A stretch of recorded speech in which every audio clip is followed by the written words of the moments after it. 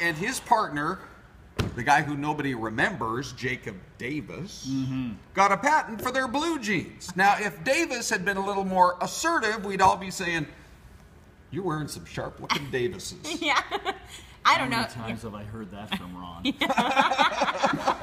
Got myself a new set of Davises. There we go. Anyway, he came to America, this Davis fella, in Right. 1854, set up a tailor shop, and one day a lady walks in and says to him, I need stronger work pants for my husband. He was a woodcutter. so he hmm. came up with using some heavy duty cloth and copper rivets. Okay. And that's where it all began. Ah. So this Davis fella, he came to America from A, Scotland, B, Croatia, C, Latvia, Latvia? or D, Spokane.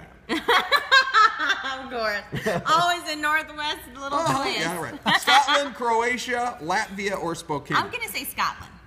Absolutely. That's a Scottish name. okay, now Davis? hold on. I got to tell you, his real name was something like Yusuf. Uh, it, wa- he changed it to the, Davis. The first name Andrea. was Yusuf. I'm giving you the chance to guess again if you want. Oh, he says that we're wrong, so we have Scotland, another chance. Croatia, Latvia, or Spokane. Latvia. I'm still going with Scotland because I know that Okay. you're trying to go jerk me around. We have a Lat. No, no, We have a Latvian. No, whoa, whoa, not yet. we have a Latvian winner right here. Latvia. That is correct. Woo, Celeste.